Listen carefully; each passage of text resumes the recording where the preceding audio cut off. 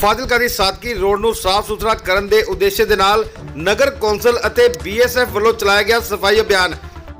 ਫਾਜ਼ਿਲਕਾ ਦੇ Sadqi border road ਦੀ ਸੌਂਦਰਯਕਰਨ ਦੇ ਲਈ ਬੀਐਸਐਫ ਅਤੇ ਨਗਰ ਕੌਂਸਲ ਵੱਲੋਂ ਸਾਂਝੇ ਤੌਰ ਤੇ ਲਗਾਤਾਰ ਪ੍ਰਯਾਸ ਕੀਤੇ ਜਾ ਰਹੇ ਹਨ। ਲਗਾਤਾਰ ਇੱਥੇ ਸਫ਼ਾਈ ਅਭਿਆਨ ਵੀ ਚਲਾਇਆ ਜਾ ਰਿਹਾ ਹੈ ਅਤੇ ਪੌਦਿਆਂ ਦੀ ਦੇਖਭਾਲ ਵੀ ਕੀਤੀ ਜਾ ਰਹੀ ਹੈ। ਅੱਜ ਨਗਰ ਕੌਂਸਲ ਅਤੇ ਬੀਐਸਐਫ ਵੱਲੋਂ ਦੁਪਹਿਰ 2:30 ਵਜੇ ਤੋਂ ਲੈ ਕੇ ਸ਼ਾਮ 4:30 ਵਜੇ ਤੱਕ ਸਫ਼ਾਈ ਅਭਿਆਨ ਚਲਾਇਆ ਗਿਆ। ਇਹ ਸਫ਼ਾਈ ਅਭਿਆਨ ਬੀਐਸਐਫ ਮੁਖਿਆਲੇ ਦੇ ਗੇਟ ਤੋਂ ਲੈ ਕੇ ਗੁਰਦੁਆਰਾ ਸਾਹਿਬ ਤੱਕ ਚਲਾਇਆ ਗਿਆ। ਇਸ ਮੌਕੇ ਤੇ ਨਗਰ ਕੌਂਸਲ ਦੇ ਕਰਮਚਾਰੀ ਲਵਲੀ ਬਾਲਮੀਕੀ ਨੇ ਦੱਸਿਆ ਕਿ ਬੀਐਸਐਫ ਦੇ ਨਾਲ ਮਿਲ ਕੇ ਸਾਦਕੀ ਬਾਰਡਰ ਰੋਡ ਨੂੰ ਸਾਫ਼ ਸੁਥਰਾ ਅਤੇ ਸੁੰਦਰ ਬਣਾਇਆ ਜਾ ਰਿਹਾ ਹੈ। ਉਹਨਾਂ ਨੇ ਕਿਹਾ ਕਿ ਸਵੇਰੇ ਸ਼ਾਮ ਇੱਥੇ ਲੋਕ ਸੈਰ ਕਰਨ ਦੇ ਲਈ ਆਉਂਦੇ ਹਨ ਅਤੇ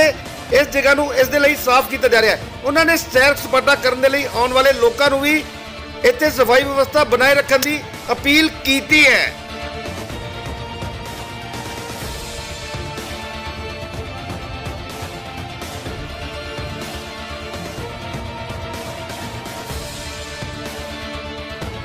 ਪੁਲਿਸ ਜੀ ਕਿਸ ਤਰ੍ਹਾਂ ਦਾ ਅਭਿਆਨ ਚਲਾਇਆ ਗਿਆ ਇਹਦੇ ਬਾਰੇ ਜਾਣੋ ਅੱਜ ਦਾ ਜਿਹੜਾ ਸਫ਼ਾਈ ਅਭਿਆਨ ਹੈ ਮਿਊਨਿਸਪਲ ਕੌਂਸਲ ਕਮੇਟੀ ਦੁਆਰਾ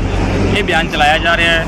ਜਿਸ ਦੇ ਤਹਿਤ ਕੁਝ ਦਿਨ ਪਹਿਲਾਂ ਜਿਹੜਾ ਆਂਦੀ ਆਈ ਸੀ ਉਹਦੇ ਕਰਕੇ ਕੁਝ ਦਰਖਤ ਦੇ ਪੱਤੇ ਸੀਗੇ ਜਿਹੜੇ ਝੜ ਕੇ ਰੋਡ ਤੇ ਡਿੱਗੇ ਸੀਗੇ ਤੇ ਜਿਹੜੇ ਵੀ ਆਪਣੇ ਫਾਜ਼ਿਲਕਾ ਵਾਸੀ ਸੀਗੇ ਉਹ ਇਹ ਰੋਡ ਤੇ ਸੁਬਾਹ ਸ਼ਾਮ ਘੁੰਮਣ ਆਉਂਦੇ ਨੇ ਸ਼ਹਿਰ ਵਾਸਤੇ ਆਉਂਦੇ ਨੇ। ਤੇ ਉਸ ਕਰਕੇ ਇਹ ਨਗਰ ਕੌਂਸਲ ਕਮੇਟੀ ਤੇ ਬੀਐਸਐਫ ਬਟਾਲੀਅਨ 52 ਦੇ ਤੇ ਨੌਜਵਾਨ ਸਮਾਜ ਸੇਵਾ ਸੰਸਥਾ ਨੇ ਰਲ ਕੇ ਇਸ ਅਭਿਆਨ ਨੂੰ ਸਾਫ਼ ਸਫ਼ਾਈ ਤੌਰ ਤੇ ਸਾਫ਼ ਰੱਖਿਆ ਜੀ। ਹਾਂਜੀ। ਇਹ ਬਿਆਨ ਜੀ ਸੋ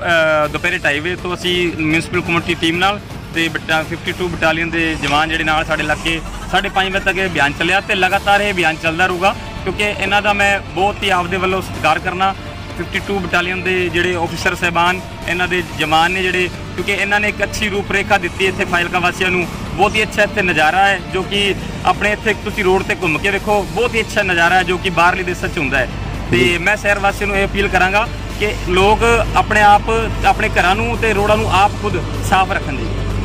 फाजिलका जब भी बुलाया ये लोग आए ग्राउंड में और साफ किया आज ही हम लोगों ने बुलाया ढाई बजे आकर के इन्होंने साफ किया आप अभी देख सकते हो अभी सुबह क्या हाल था अभी क्या हाल है thank you municipality Fazilka thank you very much thank you municipal Fazilka and BSF और सभी से ये रिक्वेस्ट है कि जब भी इस रोड से वो गुजरें तो कोशिश करें कि ये इलाका साफ सुथरा रहे सो दैट आगे भी इसमें कचरा ना रहे और आपको जब मॉर्निंग वॉक करें इवनिंग वॉक करें तो आपको एक प्लेजेंट महसूस हो स्ट्रेस फ्री हो